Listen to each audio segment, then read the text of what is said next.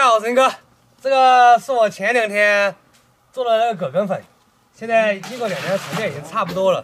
现在我把上面这个水啊，就把它舀出来。这水里面还有一些粉，待会儿用管仲再把它沉淀一次。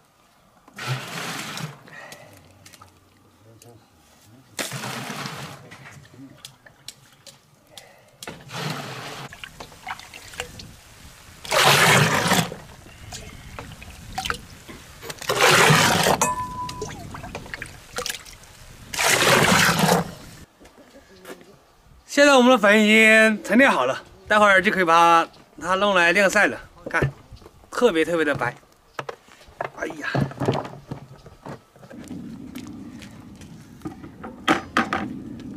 这个就是前两天泡的那个管状水，我们把它过滤一下，待会儿掺在那个粉里，用来过滤那个粉里的杂质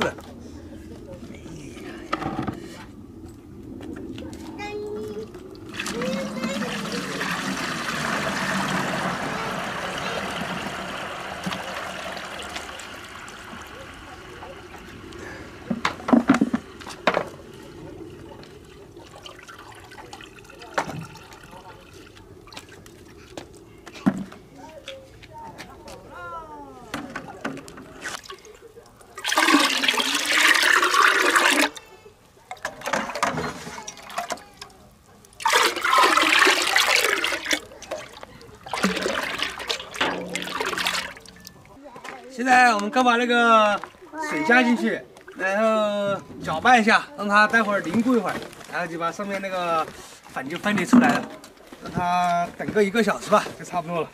现在经过一个多小时的沉淀了，刚才我们把那个管仲水加里面了，现在我们看看这个效果怎么样。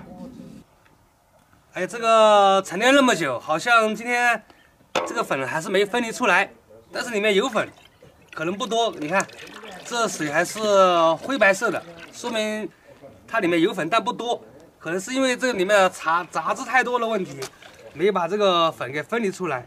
如果再沉淀的话，也可能会沉淀一部分粉出来，但是这样的话会影响口感，所以啊，我决定这一桶啊就把它倒掉了，不要了。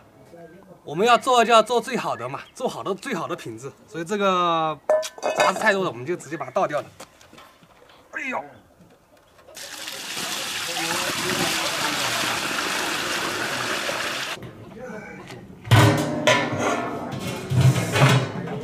哎呀，虽然浪费了一桶粉，但是也没事，反正我们要做最好嘛。现在把这些桶洗一下，收拾收拾，吃晚饭了。